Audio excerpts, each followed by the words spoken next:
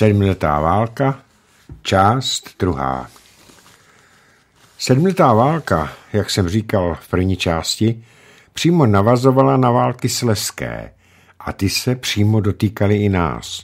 Proto jsem se nejdříve zaměřil na sleské války, v krátkosti samozřejmě, abych zachoval kontinuitu. V minulé části jsem hovořil o dobytí Prahy francouzsko-bavorsko-saskými vojsky a okupaci Prahy tehdy převážně francouzi, protože ostatní spojenecké armády odešly. Bylo tehdy naprosto zřejmé, snad všem kromě vojenských velitelů, že tato okupace jednoho z hlavních měst rakouské monarchie nebude mít dlouhého trvání. Nejenom, že se okupanti museli potýkat s nevůlí obyvatel Prahy, ale především proto, že okupované město leželo v srdci nepřátelské říše a ta se brzy jistě pokusí město dobít. Hovořil jsem také o tom, že česká královna v době okupace ještě nebyla korunována.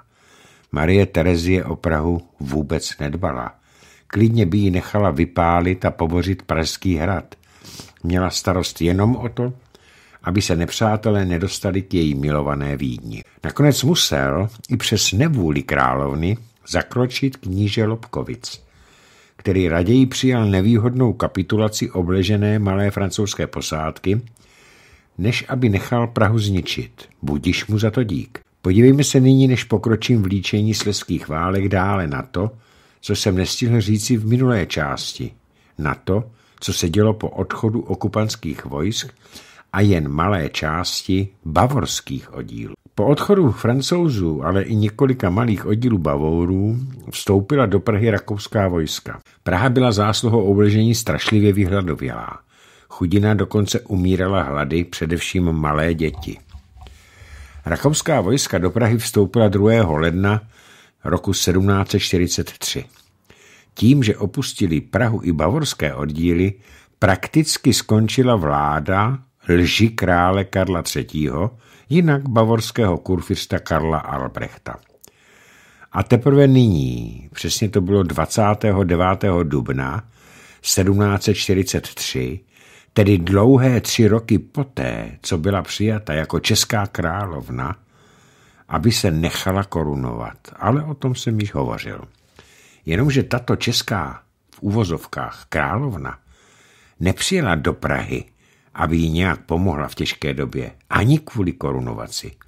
Hlavním důvodem jejího příjezdu do osvobozeného města byl její osobní dohled na práci ustanovené zvláštní dvorské vyšetřovací komise, která měla zdokumentovat činnost významných pražských činovníků a českých stavů, tedy šlechticů, za období tzv. protivlády Karla Albrechta. Zvláštní soud pod jejím dohledem zahájil činnost koncem června a prakticky zasedal až do, až do dalšího vpádu cizích vojsk, tehdy to byla pruská vojska, na podzim roku 1744. Do té doby soud potrestal více než 200 osob a vynesl i 12 trestů smrti. Pravdou ovšem je, že tyto odsouzenci k smrti byli poté cestou královské milosti omilostněni a trest smrti se jim změnil na dlouholeté vězení, propadnutí majetku a nebo vyhnanství. Francouzi však kromě neštěstí přinesli do Prahy i něco dobrého. A to například významnou stavbu, tehdy nazvanou Pasovská silnice. Dnes je to Strakonická, která propojila po levém břehu Prahu se Zbraslaví protože dříve se muselo jezdit z povozy a kočáry horem přes Slivenec, neboť břeh Vltavy byl naprosto neprůchozí. Po roce 1800 byla silnice dobudována jako císařská až do Budějovic. A další perlička.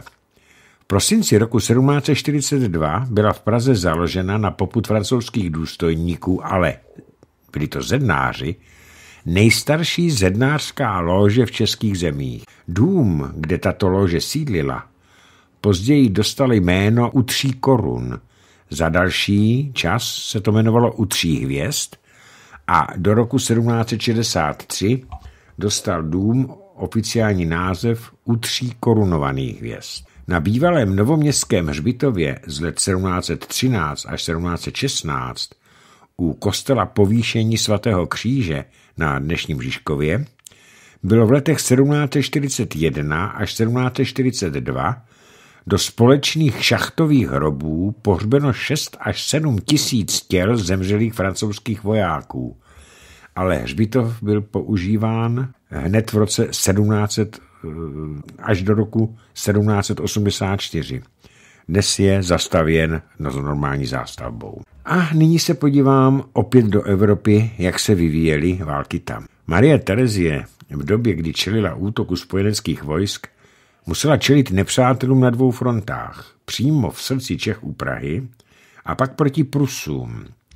Marie Terezie neváhala a opět až po čase se vypravila do Uher, aby se tam nechala 25. června 1741 korunovat uherskou královnou. Pak byla nucena uzavřít s Pruskem potupné příměří. Ale právě v den, kdy byl bavorský kurfürst korunován svým vlastním bratrem, arcibiskupem Kolínským dne 12. února 1742 jako císař svaté říše římské Karel VII. vstoupila rakouská vojska do Mnichova. Poté, co porazila bavorský odpor, zamířila do Čech a teprve pak osvobodila Prahu. Rakušané Bavorsku ovšem zanechali poměrně silnou okupační armádu a ta více než dva roky drancovala tamní zemi. Sice se uvádí, že to byly rakouské oddíly, ale pravdou je, že v Bavorsku zůstalo jen velmi málo rakouských vojáků. Většinou se jednalo o uherské oddíly, které nevynikaly přílišnou disciplínou a po celou tu dobu se hojně věnovali drancování. Jenže potom císař svaté říše římské Karel VII., nám již dobře známý jako český protikrál Karel Albrecht, náhle v lednu 1745 zemřel. Jeho následník Maximilián III. Josef se ale vzdal nároku na římskou korunu a hned 22. dubna 1745 uzavřel s Marií Terezí mír. A novým římským císařem se stal pak manžel Terezie, Marie Terezie František I. Lotrinský. Tento stav velmi posílil renomé rakouské panovnice v Evropě, čímž se významně posílila pozice Rakouska vůči velmi ambicioznímu pruskému králi Friedrichu II. Velikému. Ten správně tento vývoj tušil a proto v roce 1744 uzavřel spojeneckou smlouvu s Francií a v srpnu znovu vpadl do Čech. V roce 1745 uzavřeli Velká Británie, Rakousko, Nizozemsko a Sasko takzvanou Varšavskou alianci na omezení vlivu Pruska. Jak podivná je politika, že jo? Jak je to dlouho, co si i saské oddíly okupovali spolu s francouzi Prahu a nyní je Sasko v opačném táboře. Při úspěšné ofenzivě se této koalici podařilo vytlačit Prusy a obsadit Horní Slesko. Jenomže pruský král Friedrich II. byl vynikajícím vojevůdcem. Všeobecně se v Evropě uznávalo, že byl v té době naprosto nejlepším vojevůdcovským panovníkem. A znovu to potvrdil v průběhu roku 1745, kdy zvítězil v několika bitvách a potom, bylo to 4. června onoho roku 1745, rakousko-saské vojsko drtivě porazil v bitvě u Hohenfriedbergu. Bohužel se mi nepodařilo o této bitvě získat podrobnosti. A porážky vojsk Marie Terezie pokračovaly, i když se panovnice s obsazeným Sleskem a tím pádem jeho absolutní ztrátou nechtěla smířit, ale rakouští vojevůdci prostě na Friedricha nestačili. Prohráli v bitvě u Žďáru a potom v dalších dvou bitvách na saském území u Drážďan. Rakouská strana uznala, že na pruského krále vojensky prostě nemá. A tak po kapitulaci Saska byla drážďanskou smlouvou z 25.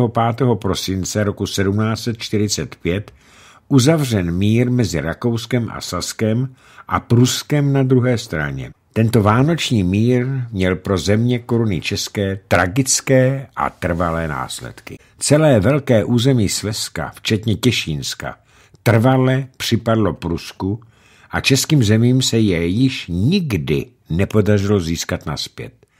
Bylo to především zásluhou politického vedení Rakouska Marie Terezí a její tvrdošíné trvání na neschopných maršálech a vojevůdcích, kteří šli od porážky k porážce. Znamená to tedy logicky, že země české přišli o veliké území vinou právě Marie Terezie. Na druhou stranu touto mírovou smlouvou uznal Friedrich II. Františka Štěpána Lotrinského za císaře svaté říše římské a Marii Terezie jako císařovnu a královnu. A tím skončily boje za sleských válek poblíž našeho území a na nás, na, na, na něm, ale Rakousko i nadále válčilo ve špálkách o španělské dědictví na jihu Evropy. A to až do té doby, co v Evropě vypukla již zmiňovaná nultá světová válka, podle některých historiků, která je ovšem známější jako sedmiletá válka. A my se teprve nyní touto válkou začneme zaobírat podrobně. Je to proto, že sleské války probíhaly těsně před touto válkou a v, poměr, v podstatě se prolínaly a poměry a válčiště mnohdy byla stejná. Jako součást této sedmileté války probíhaly i války ve světě, a to o kolonie. Nejznámější je asi francouzsko-indiánská válka v Severní Americe a o té budu teď hovořit. Podívejme se nyní spolu na příčiny této veliké války. Jako ostatně všechny velké válečné konflikty vypukla i tato sedmiletá válka kvůli penězům. Po velmi krátké přestávce od sleských válek, o kterých jsem se zmiňoval především z pozice pohledu naší české historie, začalo opět eskalovat napětí mezi dvěma velmocemi západní Evropy. Británií a Francií. Příčinou byly boje o kolonie v Severní Americe. Tehdy stáli za vyhrocením severoamerické situace především angličtí osadníci – kteří chtěli rozšířit svá panství za předtím dohodnutou hranici na řece Allegeny a zcela logicky naráželi na tvrdý odpor francouzských osadníků, kteří si tam vybudovali své nové domovy. V roce 1753 pak vyzvala britská vláda své poddané, aby se postavili se zbraní v ruce proti jakékoliv francouzské aktivitě či odporu, a již rok poté došlo k prvním ozbrojeným srážkám. Sedmiletá válka, nazývaná historiky, to už jsem také říkala, zopakuju to též jako nultá světová válka, tak fakticky vypukla právě v seroamerických koloniích. A my se nyní na tento konflikt, o kterém se také příliš mnoho neví, podíváme podrobněji, protože se do tohoto konfliktu zapojili i místní indiánské kmeny – a tato válka byla skutečně součástí sedmileté války. V této válce se střetly Velká Británie, Francie a mnoho místních indiánských kmenů, které byly rozděleny v obou válčících stranách. Jednalo se o válku mezi koloniemi tzv. Nové Francie a koloniemi Britské Ameriky, jak se tehdy toto území nazývalo. A jelikož tehdy bylo francouzských osadníků jen něco přes 60 tisíc, a Britů zde žilo již dva miliony, je na snadě, že aby francouzi nebyli vypráskáni klobouky angličanů, museli si zajistit mnohem více spojenců z řad indiánských kmenů, nežli to dělali Britové. Evropské národy, tedy Francie a Británie, vyhlásili proti sobě v zámoří válku v roce 1756. Je, jenomže ono to ještě nebylo všech. Aby byla situace ještě složitější, museli si francouzi nejdříve podmanit indiány. Takže dva roky předtím, nežli vypukla válka mezi nimi a Brity, bojovali francouzi proti indiánům.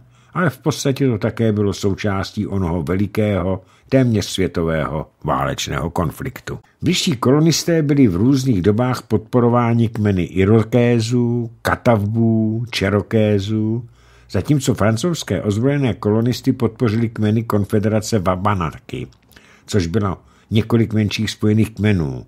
A dále pak to byly kmeny Abenaky, Mikmaky, Algonikinové, Lenapy, Obidžejové, Otavové, Šavané a hlavně velmi bojovných a nesmírně krutých Huronů. Spor a prakticky válka vypukla.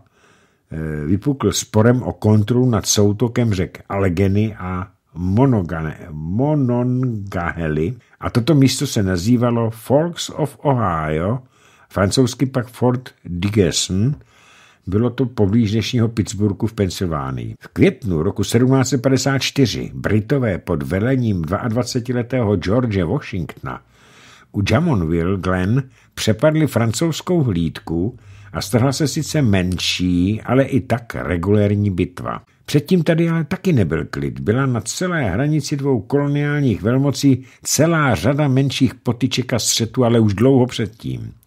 Ale právě tento incident měl všechny znaky regulérní bitvy. Zpočátku války měla navrh francouzská strana, která využívala nejednotnosti a rozhádanosti jednotlivých koloniálních zpráv Britů. Roku 1755 byla zorganizována válečná výprava Britů pod velením generála Bredoka, která měla za úkol dobít a obsadit francouzskou pevnost Digesne v údolí řeky Ohio. Výpravy se též zúčastnil mladý George Washington. Tato válečná expedice však pro Brity skončila naprostou katastrofou.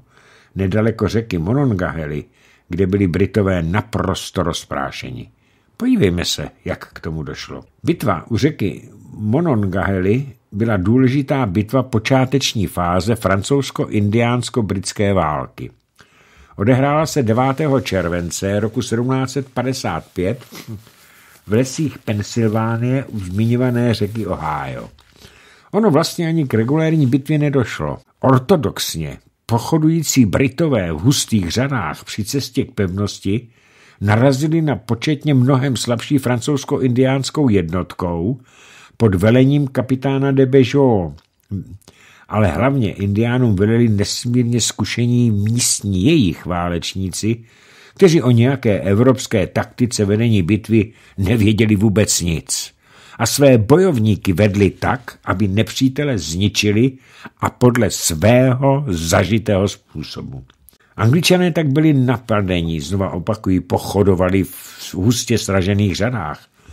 Ukrytými indiány, ale i francouzi podél stezky – a do hustých anglických řas začaly pršet kůlky a indiánské šípy. Angličané namísto toho, aby se také rozptýlili, ukryli se za stromy a opětovali pálbu po stejně poschovávaných nepřátelích, se marně snažili podle nesmyslných rozkazů velitelů zeřadit se do předepsaného útvaru a rozvinout se do bojové linie podle starých válečných taktik. Pak byl těžce zraněn generál Braddock a anglické jednotky se naprosto rozpadly a je, celé jejich velení skolabovalo.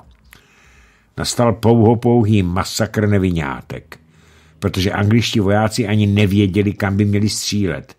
Tak dobře a umně se indiáni kryli a podle jejich vzoru dělali totéž i francouzští vojáci. Britská propaganda poté samozřejmě tvrdila, že mnohem početnější a lépe vyzbrojená britská jednotka byla přepadena neočekávaně ze zálohy. Byla to lež. Francouzské oddíly, stejně jako ty indiánské, byly také naprosto překvapeny, když nečekaně narazili na, nepřítele, kterého nečekali, stejně jako Britové. Ale zásluhou indiánů a jejich zažité ukrývací taktiky kterou okamžitě a bez rozkazu přijali i francouzští vojáci, došlo právě k tomu masakru britských oddílů. Samotný generál Braddock pak na následky zraněný zemřel 13. července. Katastrofální porážka Britů zmařila jejich naděje o ovládnutí francouzských držav v oblasti Ohája a připravila je o úvodní iniciativu na americkém válčišti, ale na druhé straně tato bitva přinutila britské představitele, aby i této válce přikládala důležitost a vedla k přemístění mnohem větších sil do Ameriky. Zároveň si britské jednotky po příchodu na americký kontinent najímali zkušené bojovníky, ať to byli trapeři anebo lovce, lovci, ale stejně tak i indiánské náčelníky, aby i je naučili novým taktickým prvkům boje v divočině. A na závěr této krátké odbočky k první větší bitvě ještě jedna pozvánka poznámka. Tato bitva byla fatální pro oba vrchní velitele. Neboť francouzský velitel, kapitán de Beaujeu, padl hned v prvních vteřinách bitvy. Poté, i to je nutné říci, Britové v malých střetech několikrát porazili malé francouzské nebo indiánské oddíly a také je pravdou, že součástí této války byly i střety pouze indiánských jednotek bojujících na různých stranách této války. A opět jsme u toho, proč Evropané tak snadno ovládli severoamerický kontinent a téměř Indiány vyhladili. Byla to částečně i vina jich samých. Na místo, aby se všechny indiánské kmeny spojily a bojovali proti oběma stranám, proti bílým, bílým uchvatitelům, rozdělili se a v bitvě za evropské zájmy, a to z obou stran, se ty indiánské kmeny vybíjely mezi sebou. Obrovská tragédie pro původní obyvatele kontinentu. V roce 1756 připlul do Ameriky Marquis de Montcalm i s posilami. Byl to dobrý vojevůdce a okamžitě se to projevilo. Nejprve dobil pevnost, pevnost Oswego u Ontarijského jezera, kde využil skvělých plavebních schopností svého loďstva a pak se zaměřil na mnohem větší pevnost William Henry u jezera George. Tato bitva o pevnost William Henry se konala v srpnu roku 1757 a byla jednou z klíčových bitek v sedmileté válce v Americe. Skončila sice jednoznačným vítězstvím, vítězstvím francouzů, ale později se ukázalo, že šlo o problematické vítězství, které francouzi naprosto nedokázali využít. Některé z událostí kolem této bitvy o pevnost skvěle popsal spisovatel, americký spisovatel James Fenimore Cooper v románu Poslední Mohikán, který byl i sfilmován. Ovšem, podle mého názoru, úrovně Cooperovy knihy tento film zdaleka nedosahuje. My se ale nyní vrátíme trochu v čase a podíváme se, jak a proč pevnost William Henry vznikla. V roce 1755 se Britové pokusili převzít ve válce iniciativu na severní frontě. Britský agent pro Irokéze a novopečený generál major Sir William Johnson schromáždil armádu, aby se pokusil dobít francouzskou pevnost Saint Frederick na břehu Champlainova jezera. Měl k dispozici asi 1700 mužů, včetně asi 200 mohavků, což byli nevěrnější spojenci z řad indiánů eh, angličanů. Dostali se i přes odpor indiánů bojujících na straně francouzů, ale i menších francouzských oddílů až k jezeru, které je přejmenované právě na Lake George, jezero Jiří. Proti této armádě vyrazili francouzi pod vedením barona Diesků, jejich síly byly jen nepatrně menší než ty britské. A pak, bylo to 8. září 1755, došlo k velmi krvavé bitvě. Každou stranu stála tato bitva přes 300 mrtvých či zraněných a největším paradoxem je, že neměla vítěze. Obě vojska se po vzájemném masakru od sebe odpoutala a nechala se vzájemně vylízat si rány. Bitva skončila v podstatě nerozhodně. Ale Britové touto bitvou strategicky velmi získali. Ovládli totiž prostor, kde dříve vládli právě francouzi. A Britové toho využili a rychle postavili novou pevnost William Henry, která byla poměrně velmi silná, ta pevnost. Do plného provozu byla uvedena v listopadu 1755. A nyní se opět posunu v čase a budu povídat o bitvě o pevnost William Henry. Rok před touto bitvou, tedy v roce 1756, se vojenské síly na obou stranách přeskupovaly. Vrchním britským velitelem v celé Severní Americe se stal generál hrabě Laudun. Jehož strategickým cílem pro rok 1757 se stal nejprve útok na hlavní město francouzů na Quebec, ale později si to přece jenom rozmyslel.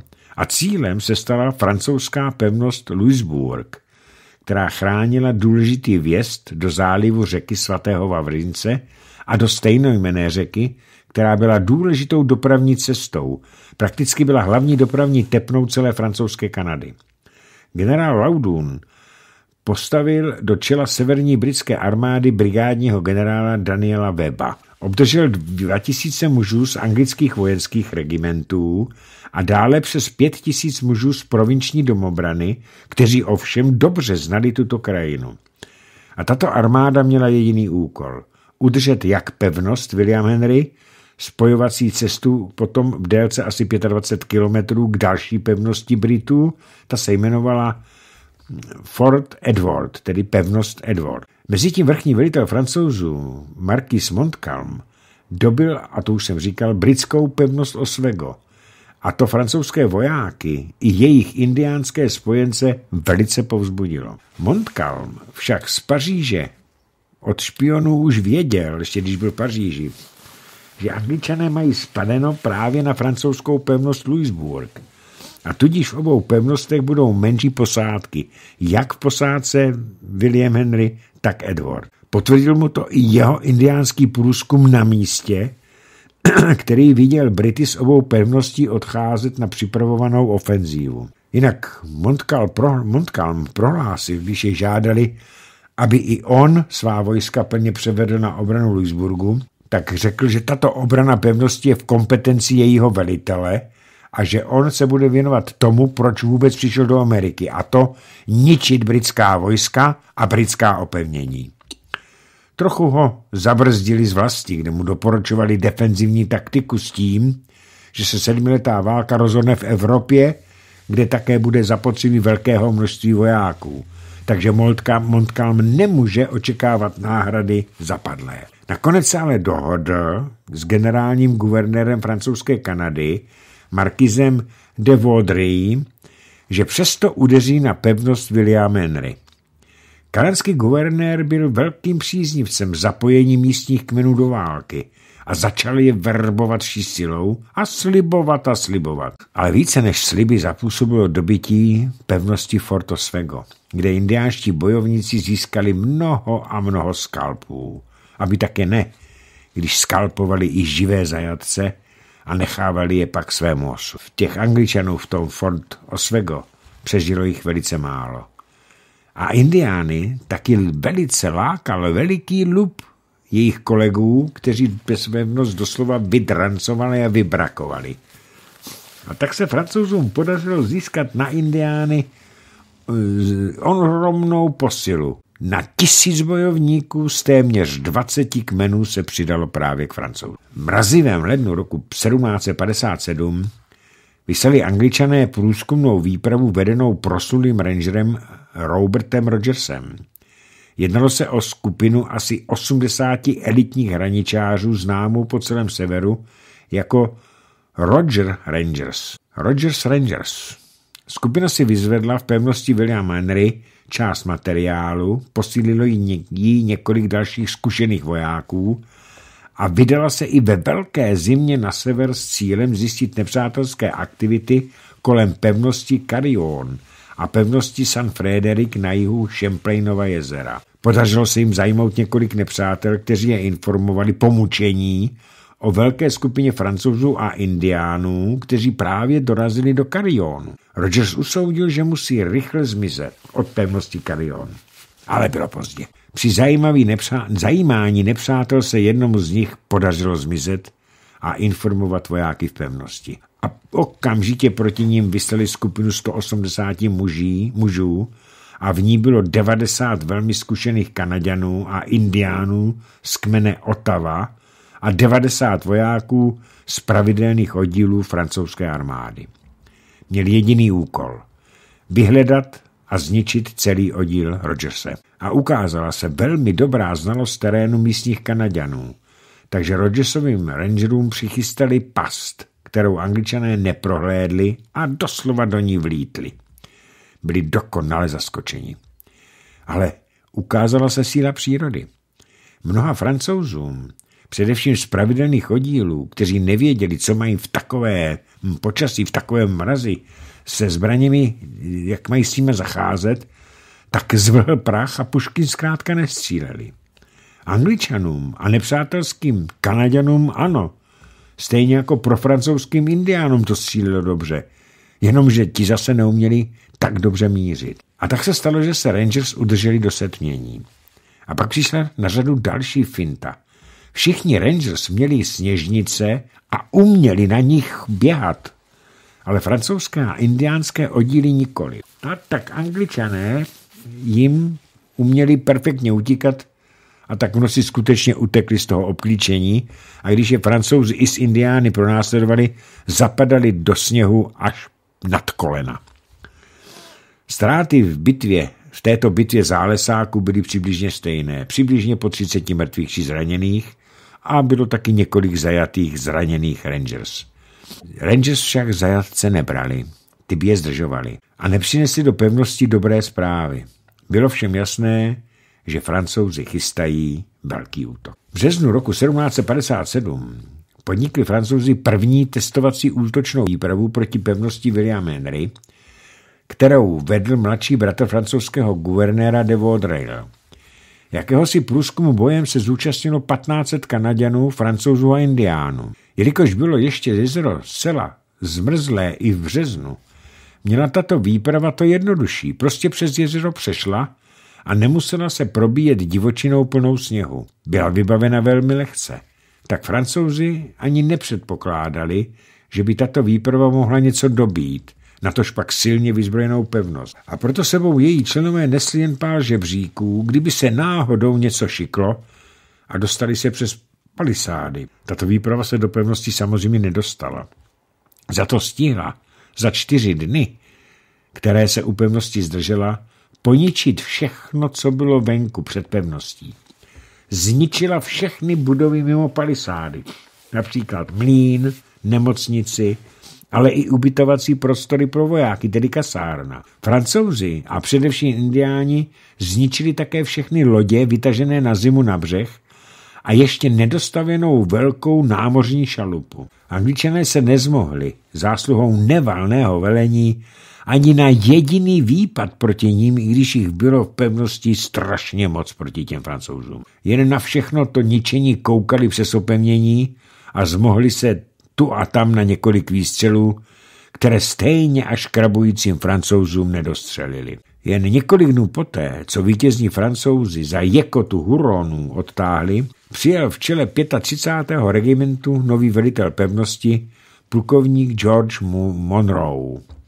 Kromě vojáků pravidelné armády měl k dispozici asi 800 odvedenců z provinčních oddílů.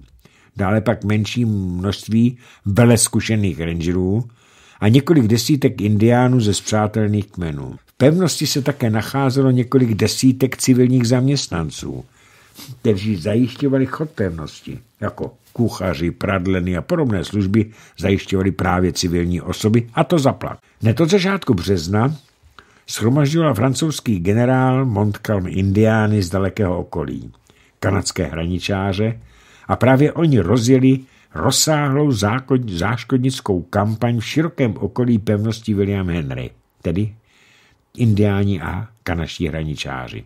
Ale i v okolí další pevnosti, jako jsem o ní hovořil, Fort Edward, působili na velikém prostoru a fakticky zamezili angličanům jakékoliv informace o dění mimo obě pevnosti. Jedinými, kdo mohli činnost francouzských a kanadských hraničářů spolu s indiány alespoň trochu zamezit, byli právě angličtí Rangers. Jenomže ti byli notně oslabeni v bitvě, po bitvě Sněžnic, o které jsem již hovořil, a bylo jich málo. A také jejich protiakce proti francouzským škůdcům byly poměrně slabé a neúčinné. Výsledkem toho všeho byl fakt, že angličané neměli až do června vůbec ponětí o tom, co francouzi chystají v čele s Montcalmem. Až koncem června dorazili do pevnosti William Henry dva angličtí zajatci francouzů, tedy angličani, kterým, kterým se podařilo ze zajetí utéci a ti Monroe informovali, že se Montcalmovi podařilo sebrat na severoamerické poměry obrovskou armádu, více než 8 tisíc mužů, která se je schromážděna u francouzské pevnosti Carillon a chystá se vyrazit na jich proti nim. Zároveň zajaci sdělili, že francouzům přijela z Evropy posila pravidelné armády a ta je těžce vyzbrojena. Angličané se pokusili přibrzdit francouzské přípravy na útok proti oběma pevnostem v samotném začátku. Plukovník Monroe poslal 23. července pět rod domobranců z New Jersey do oblasti schromaždiště francouzské armády. Ti měli narušovat diverzními akcemi přípravu invaze a přivést co nejvíce zajatců, aby od nich angličané získali tolik potřebné informace. Jenomže výprava skončila naprostou katastrofou. Pro francouzští indiáni o nich po celou dobu výpravy po řece naprosto dobře věděli a sledovali je, aniž by si jich někdo všiml. Počkali, až se budou Britové vyloďovat a skrytu pralesa je s velkou silou překvapivě napadli. Pro britské jednotky to byla naprosté překvapení a nezmohli se téměř ani na obranu. Z počtu 350 mužů bylo 250 mužů zabito přímo na břehu řeky, anebo byli zajati. Francouzi a, a především indiáni však měli jenom jednoho zraněného a to svědčí o naprostém překvapení a zmatku Britu. Francouzský spisovatel, který byl v Severní Americe spolu s Montcalmem a popisoval vše, co zažil, o tomto přepadení doslova napsal. Indiáni britské vojáky topili a napichovali je ve vodě oštěpy jako ryby. A nejméně tři z nich uvařili v kotli a snědli. Svědectví o masakru plukovníku Monroeovi doneslo jen několik vojáků, kterým se podařilo masakru utéci tím, že uměli plavat a unikli po řece. A podařilo se jim i přes pronásledování indiánů dorazit zpátky do pevnosti William Henry. A tam byl na návštěvě velitel pevnosti Fort Edward, generál Webb, a byl z výsledku výpravy zdrcen. Slíbil Monroeovi poslat pomoc, ale po návratu do Fort Edward však z obavy, aby neoslabil vlastní posádku, zjevně se obával útoku francouzů i na jeho pevnost a později se ukázalo, že oprávněně, poslal Monroeovi jen tisíc mužů, z nichž bylo jen 200 vojáků pravidelné armády a zbytek tvořili domobranci z Mesešutské milice. Tyto posily dorazily 2. srpna. Vojáci byli ubytováni přímo v pevnosti, milicionáři si postavili opevněný tábor nedaleko pevnosti. Monroe teď měl k dispozici asi 2,5 tisíce mužů. Vše bylo připraveno k bitvě o pevnost. Posily do té pevnosti přišly na poslední chvíli. Jak jsem říkal, dorazili 2. srpna. Ale už 3. srpna před pevnost dorazilo 2,5 tisíce bojovníků pod veleným zástupcem Montcalma, rytíře de Lévy. Šlo ale pouze o předsunutou jednotku.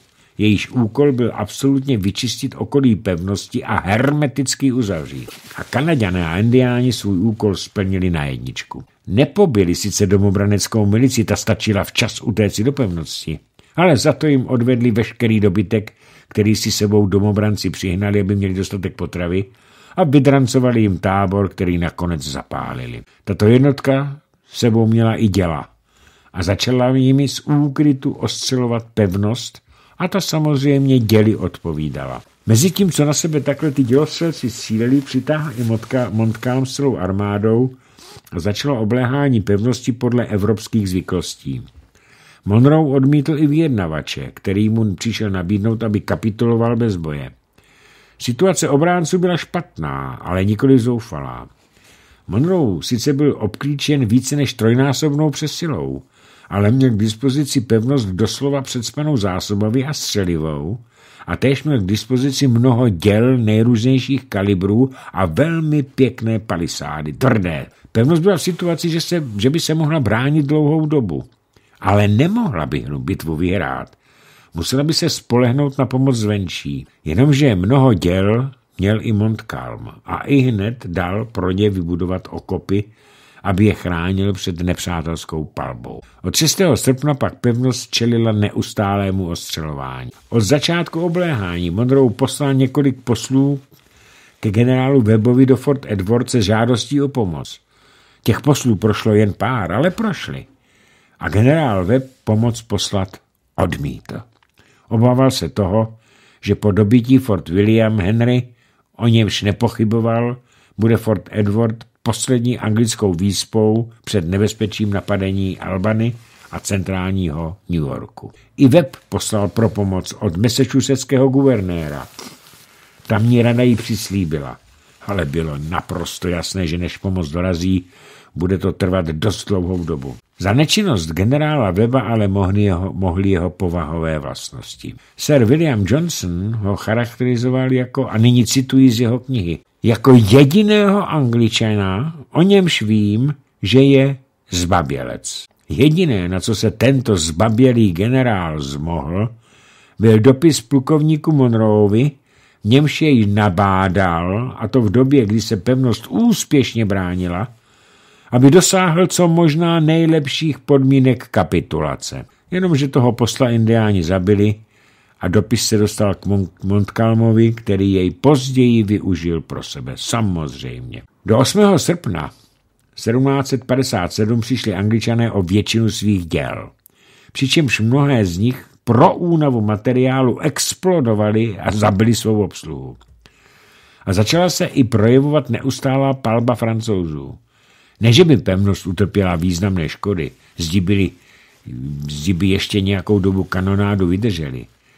Ale co bylo nejhorší, začala se projevovat ztráta morálky obranců. Přispěla k tomu i dobrá taktika Montcalma, který kanonýny střídal tak, aby děla, pá, děla pálila i v noci a nenechala obránce vyspat. Monroe se ráno 9.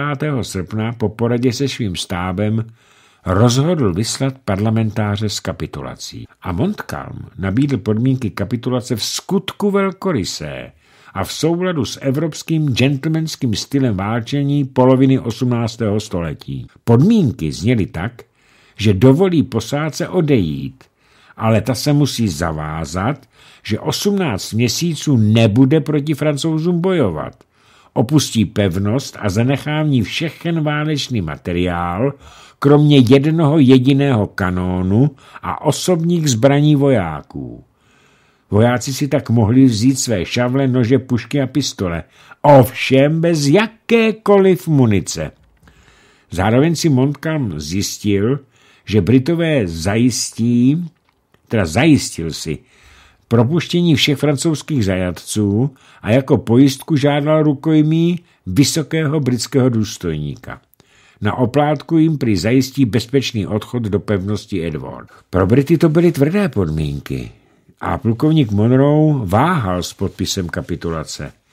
Ale když mu Marquis Montcalm ukázal dopis generála Weba, bylo plukovníkovi Monroeovi jasné, že žádná pomoc nikdy nepřijde a s kapitulací souhlasil.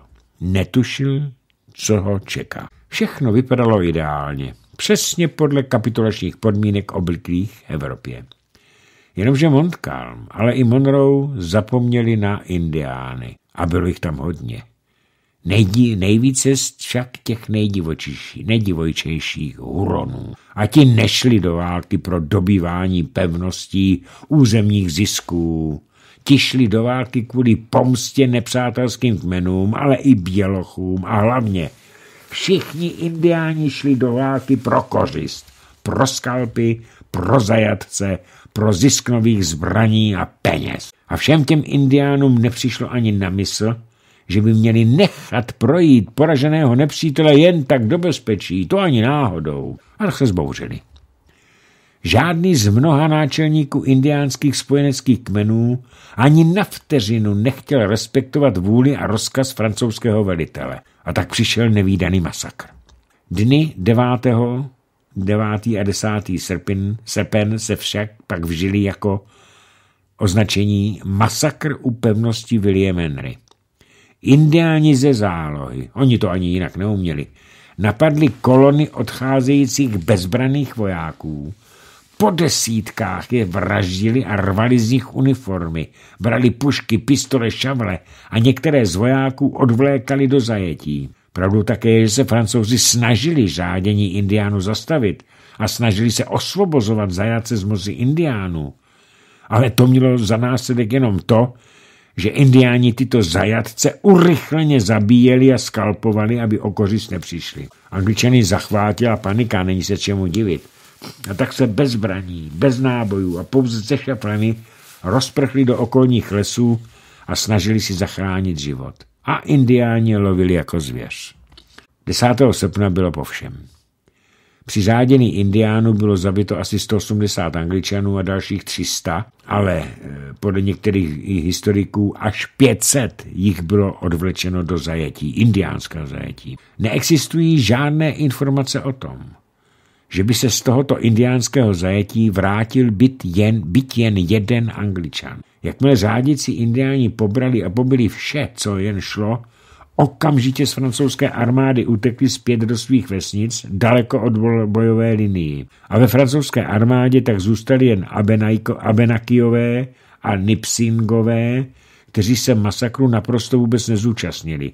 Oni totiž patřili k takzvaným domestikovaným kmenům indiánům a byli považováni za nejvíce civilizované indiánské spojence francouzů vůbec.